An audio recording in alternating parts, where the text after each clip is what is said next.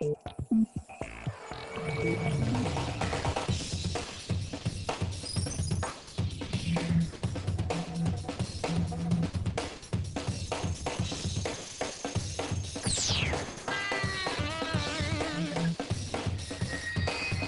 Happy Friday, folks, and welcome to WatchGuard Security Week in Review, a video podcast dedicated to quickly summarizing the biggest information and network security stories each week and to sharing some practical security advice along the way.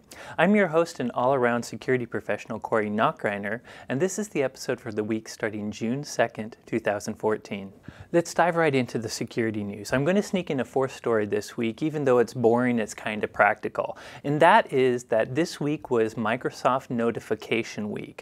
On Thursday, Microsoft warned that next Tuesday is patch day, and according to their advance notification, there's going to be seven bulletins that fix flaws in Windows, Internet Explorer, Office, and Lync, which is the communicator replacement. So if you're a Microsoft administrator, be sure to get those patches next Tuesday. And by the way, they're probably going to fix the zero-day IE flaw that the Zero-Day Initiative disclosed a few weeks ago.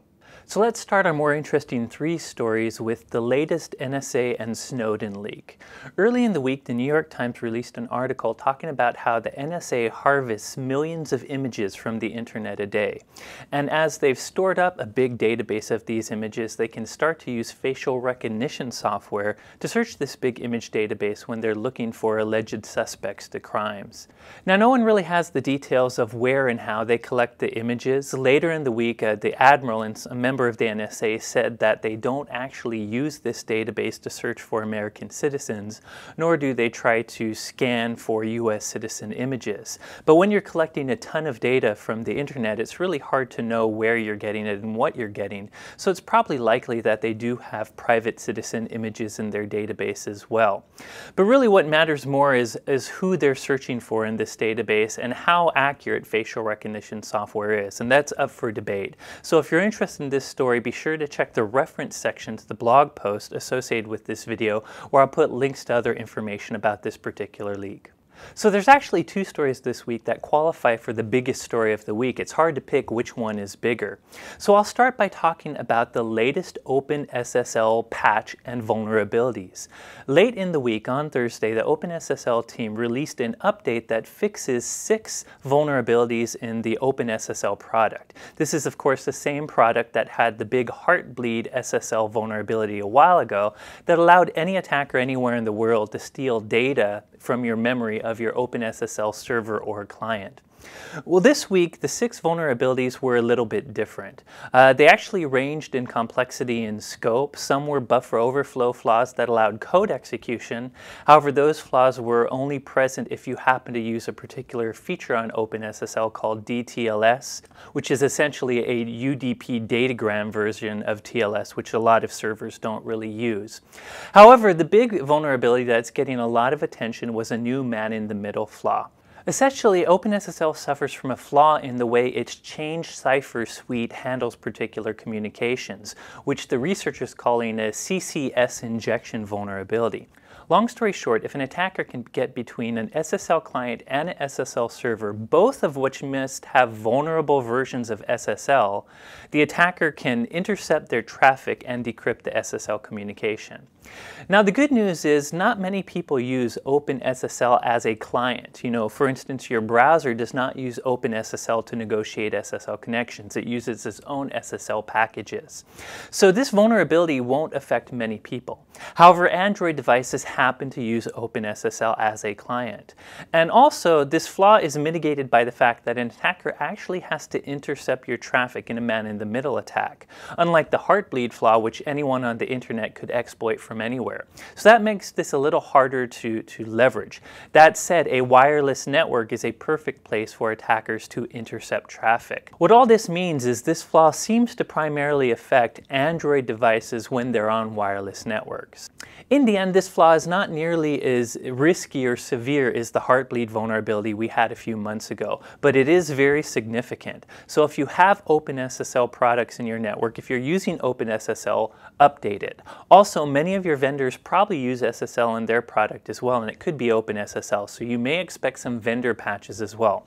Finally, if there's WatchGuard customers listening, our devices do use OpenSSL, and they do suffer from this vulnerability or these vulnerabilities to some extent, although in many cases they're hard to exploit in the real world.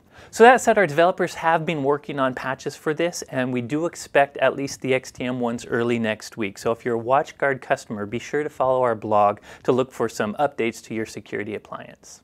So the last story of the week is a big global botnet takedown. And I'm not sure if this is the biggest story of the week, maybe the OpenSSL one was, but this one happened early in the week and it had many, many different news organizations covering it. Long story short, the FBI in cooperation with uh, UK and global authorities as well as uh, companies like Microsoft succeeded in interrupting the communication mechanism used by one of the big Zeus variant botnets, a particular variant called Game Over or GOZeus. Anyways, the authorities have temporarily hijacked this command and control infrastructure. That means if you're infected with Game Over Zeus, it can't contact its authors right now, it can't get updates, and it can't do anything bad. And by the way, this happens to be one of the big botnets that was distributing the big CryptoLocker ransomware. So that means if you have CryptoLocker right now, it may not be able to call home, which is both good and could also be bad if you're one of the people who are trying to pay the ransom, which by the way I don't recommend. In any case, this is probably only a temporary situation. Whatever the good guys did to hijack the command and control infrastructure, Zeus is very resilient. In a couple weeks, in two weeks, it's probably going to regain access if a computer is still infected.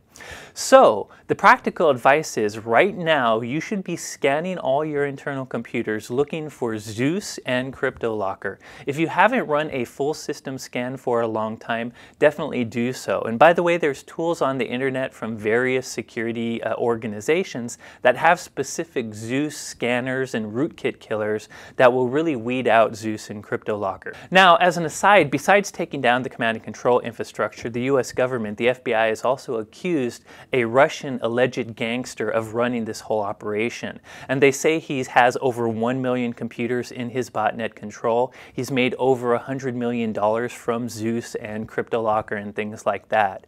And this particular Russian gangster, whose name I can't pronounce, has not been actually arrested yet. Uh, he's still uh, out in the open, but a formal accusation has been sent, and there is a wanted poster for him from the FBI. So that's the latest botnet news. Be sure to scan for Zeus, and be sure to regularly run products like IPS antivirus, and if you have it, advanced threat protection to protect you from these all the time. And of course, WatchGuard XTM devices can put all of those type of security controls in one easy to use appliance. So that's all this week. I hope you enjoyed the show. As usual, there's a ton of other stories, so be sure to check the reference section of the blog post associated with this video, which, as always, I will put on the WatchGuard Security Center blog. If you haven't subscribed to this blog, please do so. We post regular news. For instance, when we knew about the OpenSSL flaw, we posted a blog post telling about it on Thursday. So join that blog. You can also follow me on Twitter. I'm at SecAdept, or you can follow WatchGuard at WatchGuardTech.